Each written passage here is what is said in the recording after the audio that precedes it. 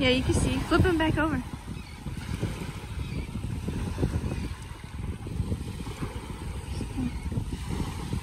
All right, I guess we can put him back.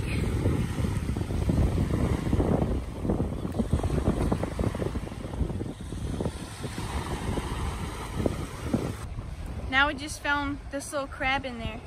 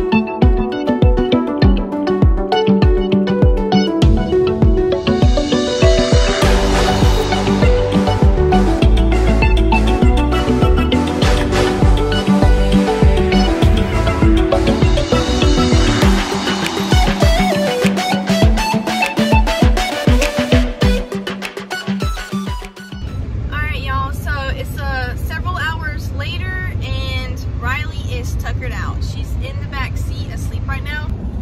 But yeah, she's back there asleep, taking a good little nap. And that's our beach trip, so we will just catch you in the next video. Hope you guys enjoyed.